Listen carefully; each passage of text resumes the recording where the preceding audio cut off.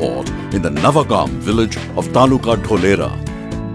Besides handling the logistics requirement of DSIR, the proposed Greenfield Airport will handle the spillover traffic of the existing Ahmedabad International Airport.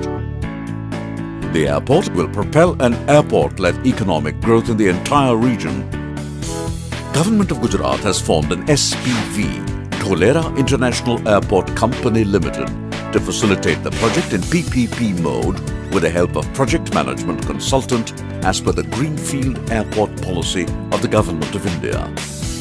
Dholera International Airport Company has obtained necessary approvals such as environment clearance, in-principle approval etc. from Government of India.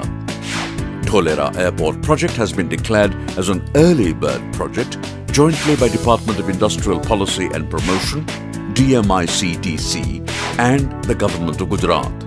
The airport is strategically located amongst the big cities of the state. Dholera Airport will be well connected via express highway and metro railway.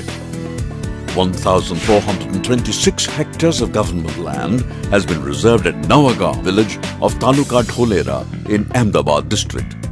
The measurement and demarcation of the site is carried out by District Inspector of Land Records, Ahmedabad.